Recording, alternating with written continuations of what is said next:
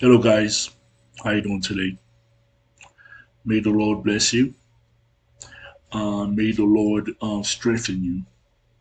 And may the Lord um, answer your prayers. So whatever you guys going through right now, I pray that the Lord will be there with you, that you will feel his presence. Okay guys, today I want to talk to you guys about the deception of being rich, the deception of having money. The Holy Spirit put that in, in, my mind to talk to you guys about that. Before I begin, I want to read to you guys what the Bible says about having money. Having money with the wrong perspective. Okay? Having money, having a lot of money is not wrong, is not evil, but having the right perspective. When you have a lot of money, when you have a lot of money, you need to have the right perspective. You need to have an eternal perspective, not temporary. Because money can corrupt you. So let me read to you what Jesus says about money.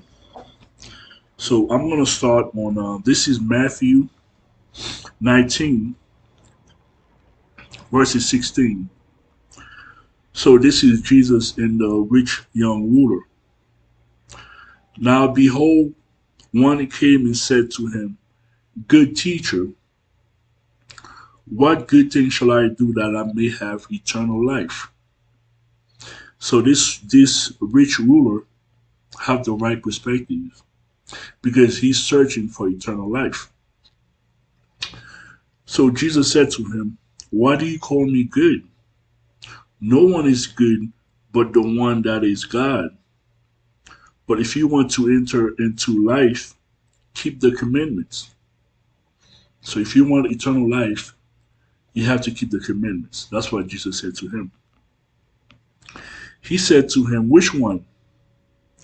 Jesus said, You shall not murder, you shall not commit adultery, you shall not steal, you shall not bear false witness, uh, false witness, honor your father and your mother, and you shall love your neighbor as yourself.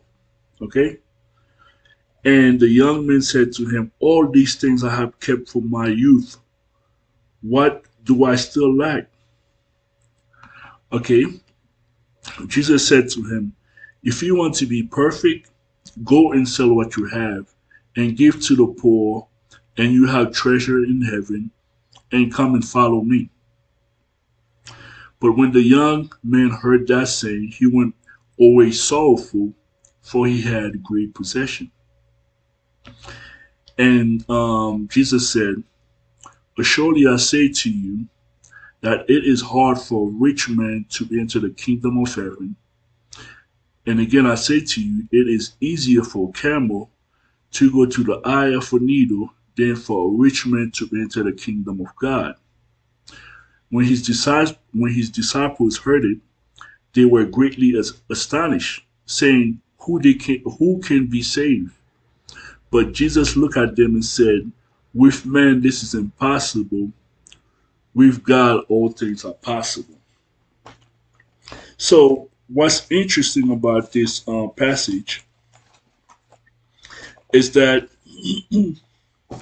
the um, the rich man he said he kept all the commandments. You know, he said, you know, he, he didn't commit adultery. He did not, he honored his father and mother, and he loved his neighbor as himself. But Jesus caught him in a trick because he said he kept, he, he honored the commandments, he did all those things, but he loved money right? So he had a love for money. That's the reason why the Bible said he went away sorrowful because he had great possession. So he was lying the whole time. Because if he said he loved, um, if he said he loved the neighbor as he loved himself, the way he said he kept all these commandments, he loved God and um, he kept God's commandment. But then you have money and and you holding on to that money, and and and then you're not willing to um to share that money. So how do you love your neighbor as you love yourself? Okay, so that's how sometimes people say things, you know, but God sees their heart. So you may say a lot of things, but God sees the type of person you really are. You know, your possession means more to you than your relationship with God. You know, the problem with a lot of rich people, they put their security, they put their trust in their wealth instead of putting their trust in God. So that's one of the biggest problem with, with, with the rich. The more comfortable they are, you know, they they don't really want nothing to do with God. A poor person, if they cannot pay, if they don't know where the next meal is coming from, if they do not know how they're going to pay their rent, they get down on their knees and they ask God, please help me. But if you're rich, you already know your house is paid for and you are comfortable. You don't need God. Why would you? You don't need to get down on your knees and pray to God because you have everything that you need. So that's the problem with the um, with the rich ruler. He had everything that he needed. So now Jesus is telling him to sell everything and follow him. And so he couldn't do that. You know, because his possession means more to him than than eternal life.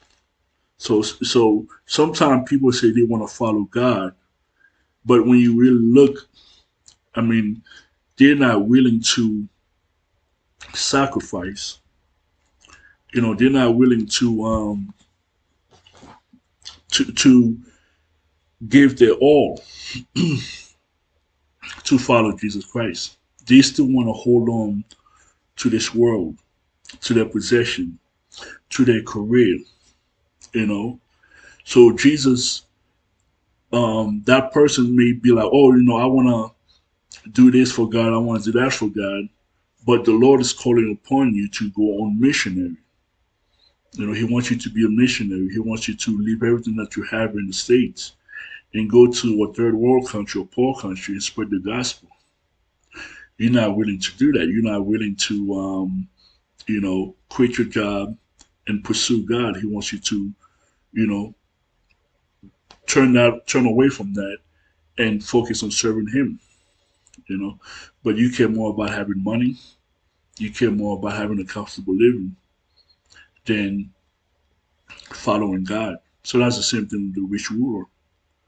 You know, if you really want to serve God with all your heart, you have to um, sell all your possession.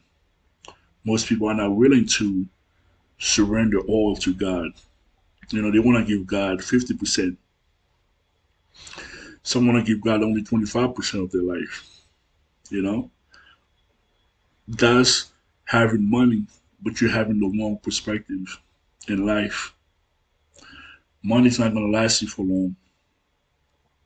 You know? So what happens if there's an economic collapse?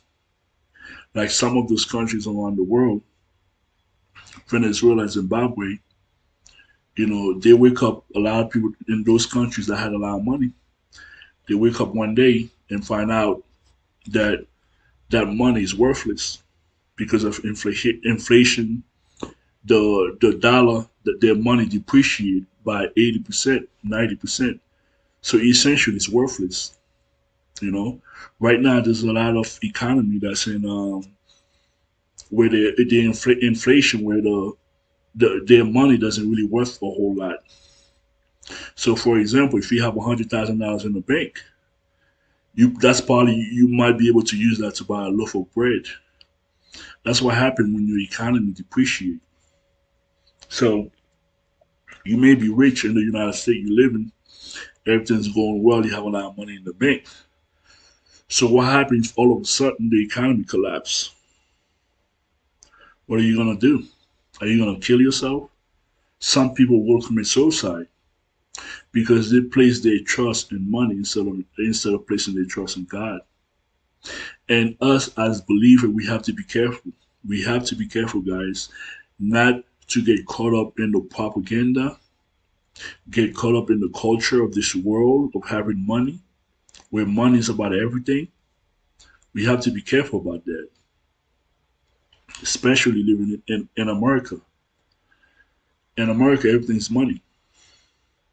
When you live in a capitalist system, it's all about having money. Money equals power.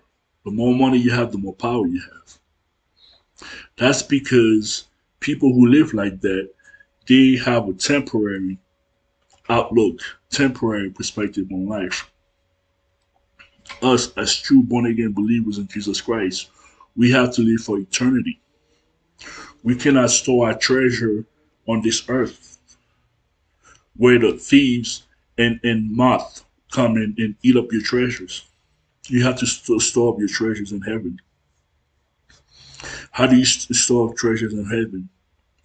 By honoring your God, by honoring the Lord Jesus Christ, by obeying his commandments, by taking care of those who are vulnerable, those who are oppressed, serving other people. That's how you storing up treasures in heaven. Okay? When you store up your treasures in heaven, it's safe, it's eternal. Money does not last very long. Our life on this earth is blip, it's just a blip. Okay? So some people will do whatever it takes to get to to get a lot of money. They will cheat on their spouse, they will lie, they'll do all kind of immoral act in order to get money. You know, people who live their life like that when you care, all he cares about is money, it's gonna lead to your destruction. Okay, if you love money more than you love God, then there's a separation. There's a great chasm between you and God. Anything you idolize before your Creator, there's a great chasm. There's a separation right there. And if you die like that, you are totally separate from God forever. We have to stop living for, for today Stop living for this world and start living for what's eternal. And if you read in, um, I'm going to read to you guys what it says in James. James 5, it says, Come on now, you rich, weep and howl and how for your misery that are about coming upon you. Your riches are corrupted, and your garments are moth eaten. Your gold and silver are corroded, and their corrosion will be a witness against you and will eat your flesh like fire. You have heaped up treasures in the last days.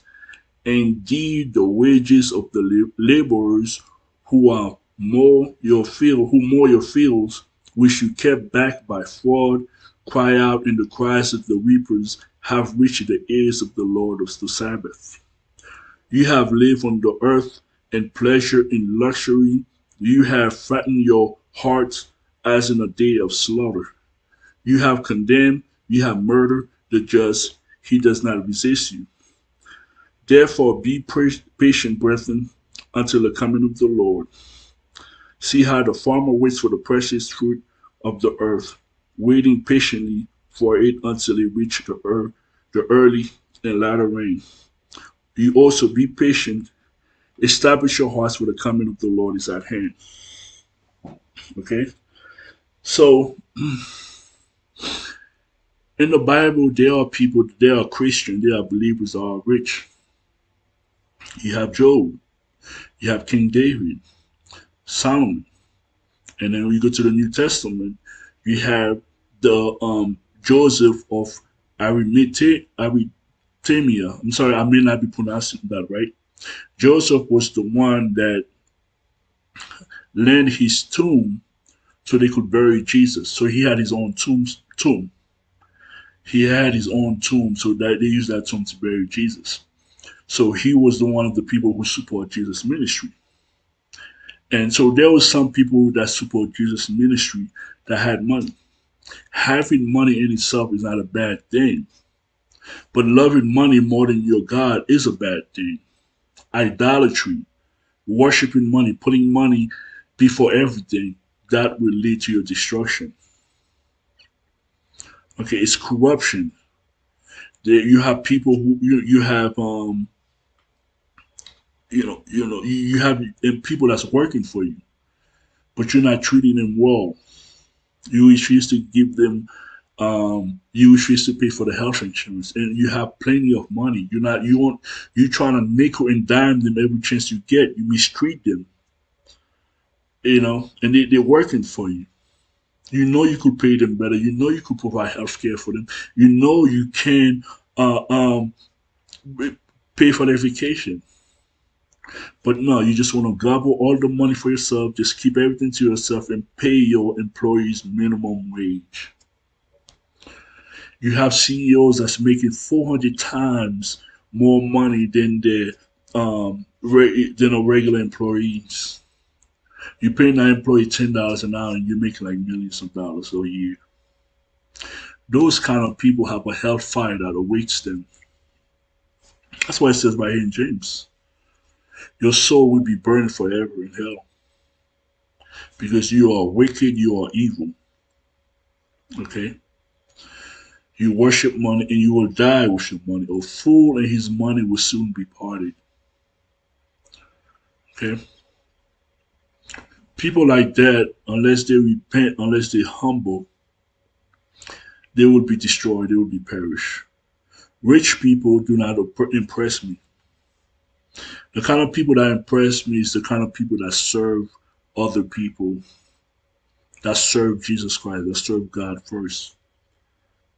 Okay, I don't care about how much money you have. You will perish with your money. That's what Peter said to some to one of the um, people that was trying to buy. You know, you know, I forgot that verse in the Bible, but Peter said the same thing. He said, "You will perish with your money. A fool and his money will soon be will soon be parted." Okay. If you have money, you're a Christian, you gotta use it to do good. You gotta use it to help those Christians who are less fortunate. Use it to help Christians in the poorer countries.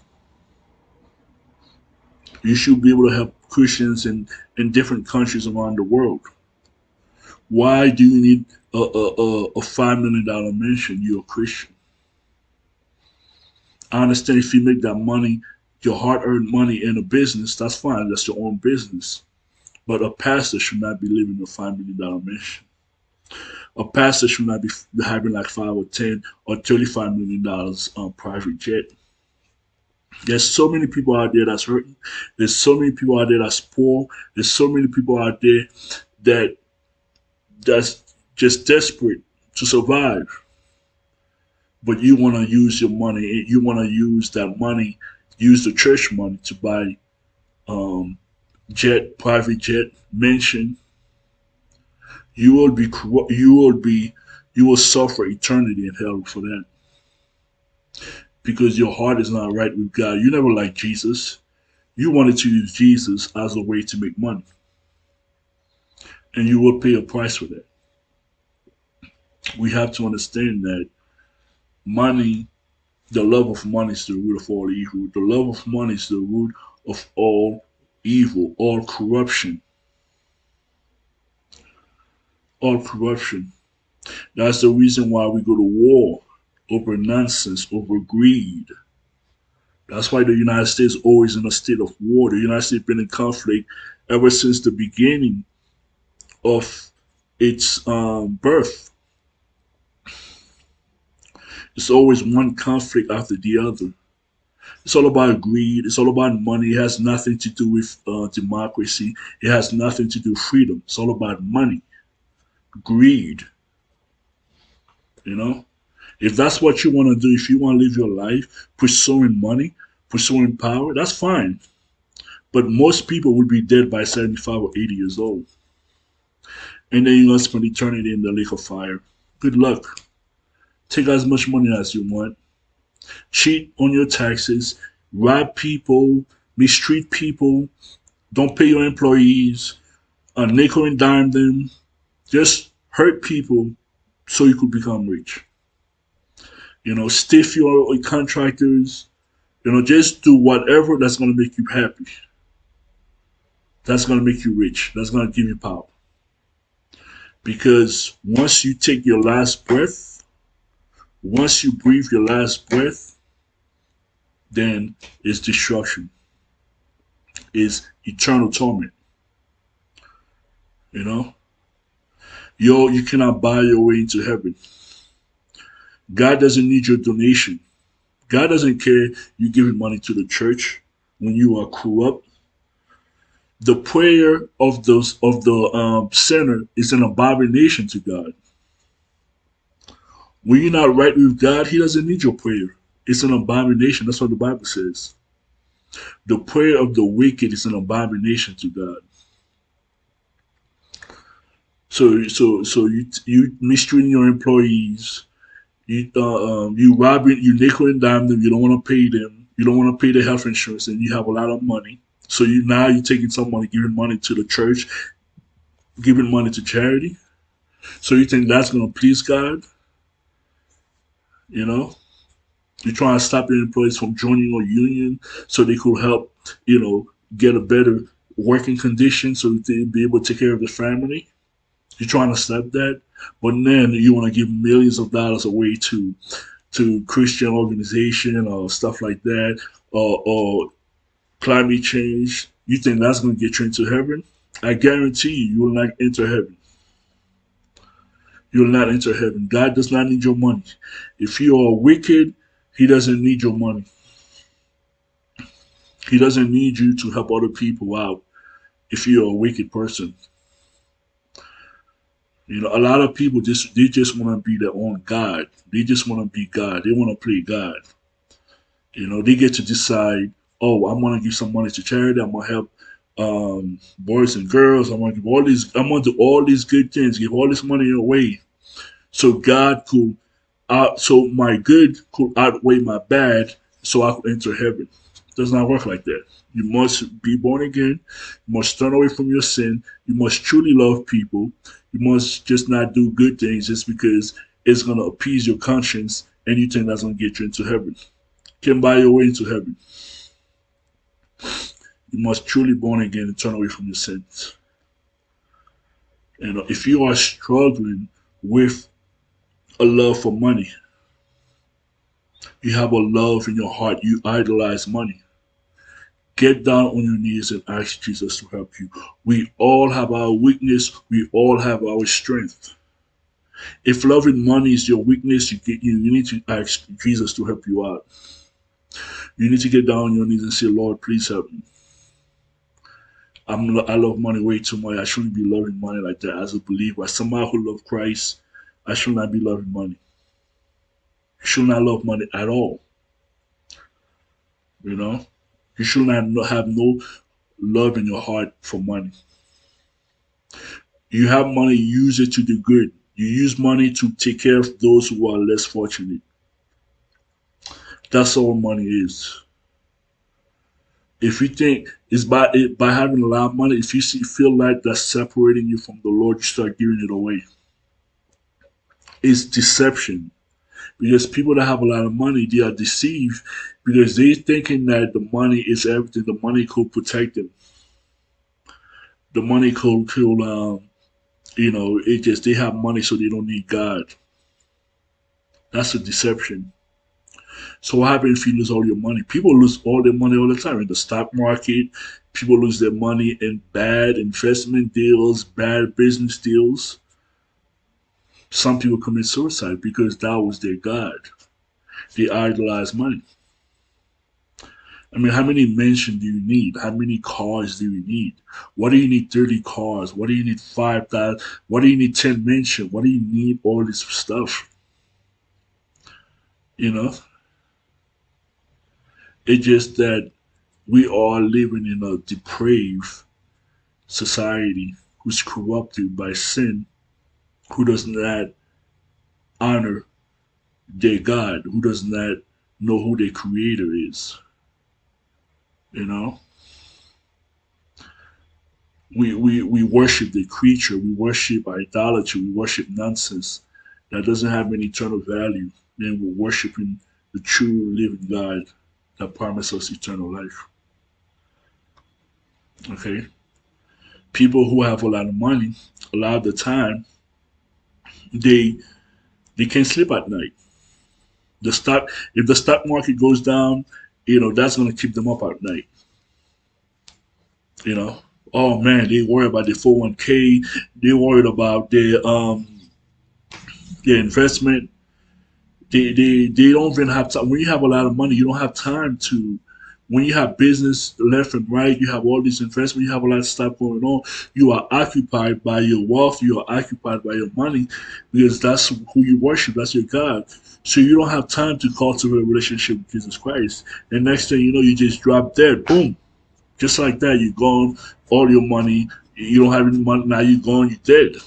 All your money is left behind for your family and, and relatives, so-called family relatives to fight over while you're dead. You do your funeral, everybody's gone, now they're trying to fight over your money. You know? That's what happens when you don't have the right perspective on life. Where money's about everything. You know? That's the reason why it's good for a lot of people to to leave America because America will brainwash you into thinking that the thing that really matters in life is having money and this is having power. The thing that really matters in life is cultivating a, a relationship with your creator.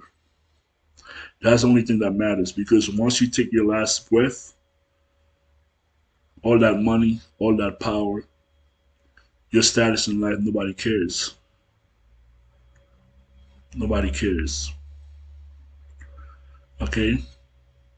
Can you tell me who was the richest person 100 years ago? Nobody cares. Nobody knows and nobody cares. That's right, nobody cares. Because you are you only matter when you are alive. Once you're dead, people forget about you. Even your loved ones, they have to move on. Once they do the funeral, they bury you. Eight months, six a year later, everybody move on. Life goes on. Okay? There was only one person that died that that the world stopped. That was the Lord Jesus Christ. He died to give everybody life. Jesus died to give everybody life. You know? So you are not that important. And most people, when they have money, they think they are important, but you're only important because you have money. Once you lose all your money, all your friends gonna be gone. You're not gonna have, you know. It says, I think it says in Proverbs that you have a lot of friends when you have when you when you could give them stuff, when you could help them out, when you could take care of them. You know, once you start giving people money, you stop, you don't have any more left, then your friend's gonna be gone. Okay? So that's the deception of money. The deception of money is that you think that you are something because of the money. Like like you you are you take you like the Bible says, if you take you something when you really nothing, you deceive yourself. Okay? You only something because you have the money. If the money was gone, you wouldn't be anything. So it's a deception. It's not real. It's not real. You think all these people that's cheering your name, they really love you. They don't love you.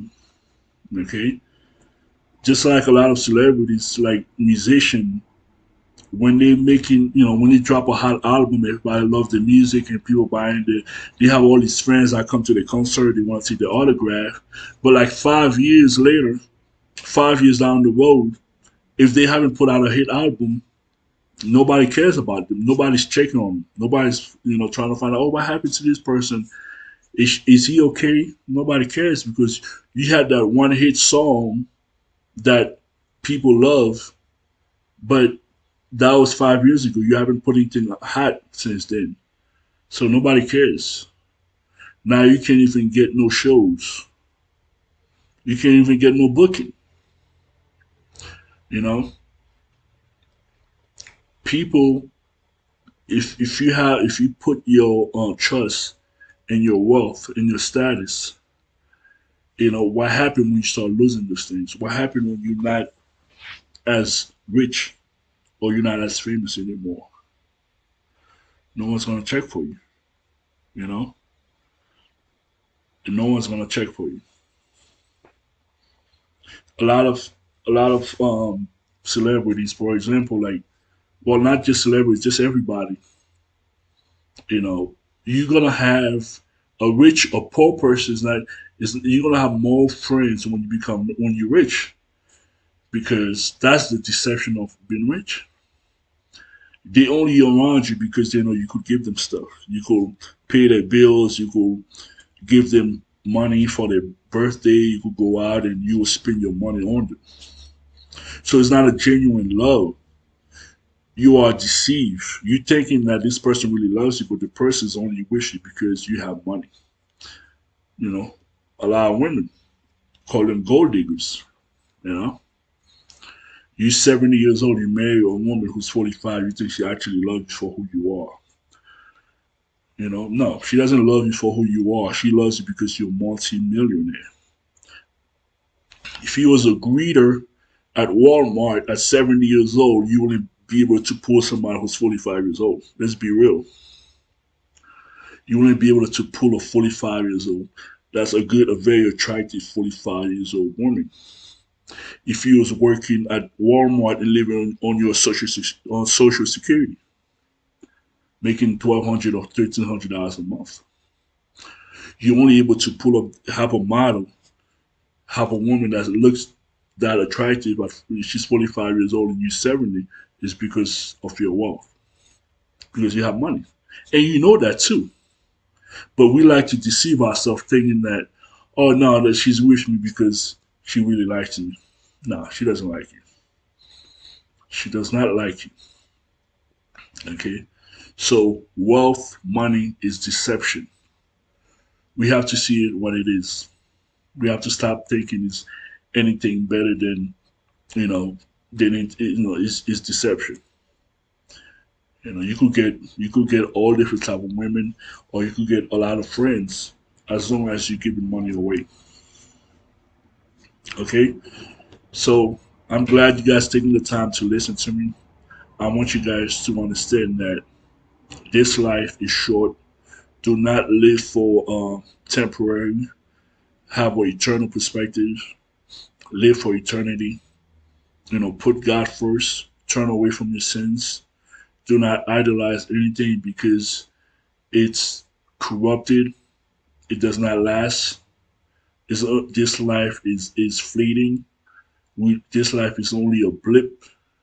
So do not place your trust in anything but the Lord Jesus Christ. Check yourself. Ask the Lord to change you. You know, check your um if you like anything, if you see yourself putting anything before the Lord, tell the Lord to help you. He's a gracious, he's a gracious, he's a merciful God. He's always willing to listen, always willing to help his children. Thank you guys. May the Lord bless you.